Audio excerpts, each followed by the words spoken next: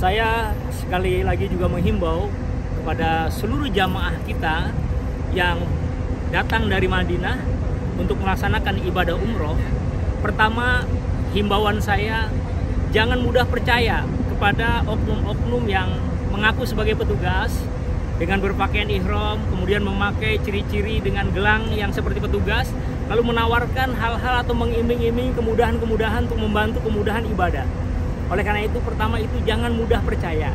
Nah, yang kedua, ketika sampai kita ke Masjidil Haram, jika jamaah kita membutuhkan uh, kursi dorong untuk melaksanakan rangkaian ibadah tawaf maupun sa'i, gunakanlah jasa kursi dorong yang telah disiapkan oleh pihak Masjidil Haram.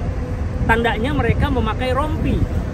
Jangan kita memakai jasa dorong yang ilegal. Akhirnya apa?